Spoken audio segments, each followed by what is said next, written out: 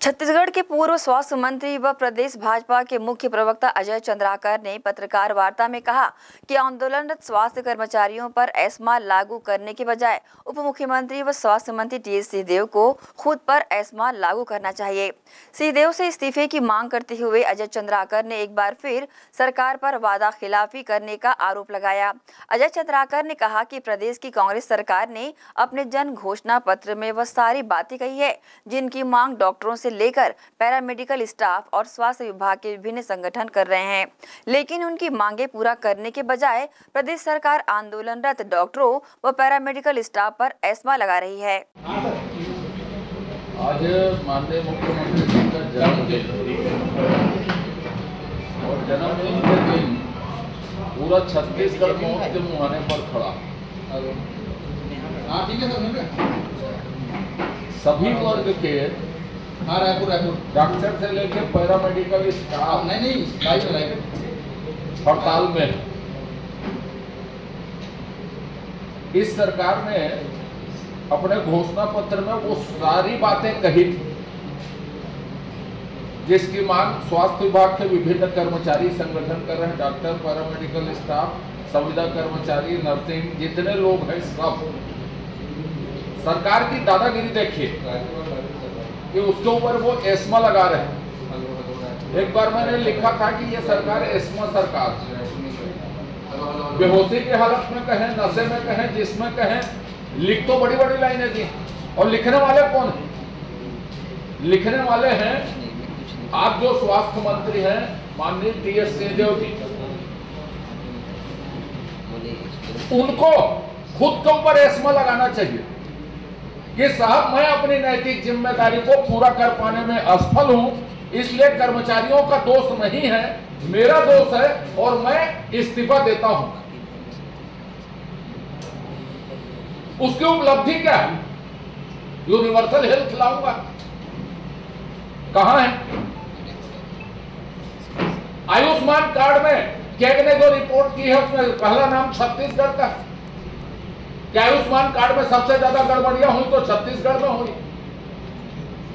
बच्चे मरे, महिलाएँ मरी, नवजात शिशु मरे, वो आंकड़े हम लोगों ने बार बार जारी किए। और इसलिए शुरुआत में मैंने कहा कि चालीस हज़ार कर्मचारी जब हड़ताल में हैं तो स्वास्थ्य सुविधा क्या हो? बोलते हैं ना, राजा रंगीनियों में है और जनता मौत के मुहाने में। गढ़बो नंबर छत्तीसगढ़ मारवो छत्तीसगढ़। ये छत्तीसगढ़ के लोगों को भगवान भरोसे छोड़ दिया गया। सिवाय करप्शन के, सिवाय भ्रष्टाचार के, सिवाय लूट के, सिवाय अवैध वसूली के, कुछ भी नहीं है। सत्ता के शीर्ष में बैठे जितने लोग हैं, जिसको कोटरी कही जाती है ना, माननीय मुख्यमंत्री जी के इर्द गिर्द जितने लोग हैं, वो सब की कलई खुल रही है। क्या वसूली करने वाले सरकार चला रहे हैं? क्या मनी लॉन्ड्रिंग करने वाले सरकार चला रहे हैं? क्या लेवी वसूली करने वाले सरकार चला रहे हैं? क्या यही दोस्ती में सरकार चल रही है? कि कोई नियम कानून से यह सरकार चल रहा है?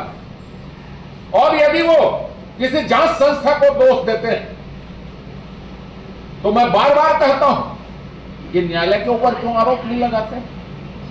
ये पहले माननीय मुख्यमंत्री हैं जो विधानसभा में आरोपियों के लिए स्पष्टीकरण देते हैं।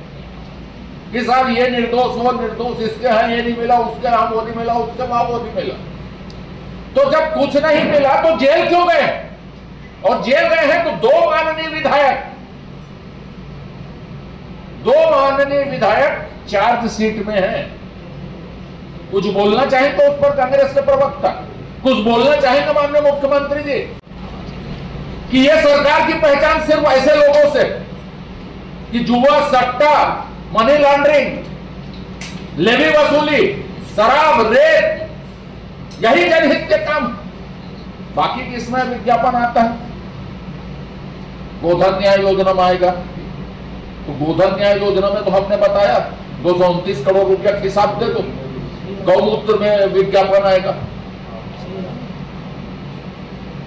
गाय के लिए पेरादान हुआ। तेरा दान कहा हुआ, कितने का हुआ, कोई नहीं जानता। तिरपन करोड़ रुपया शेष के पैसे से कोठान में तेरा ढुलाई हो गई।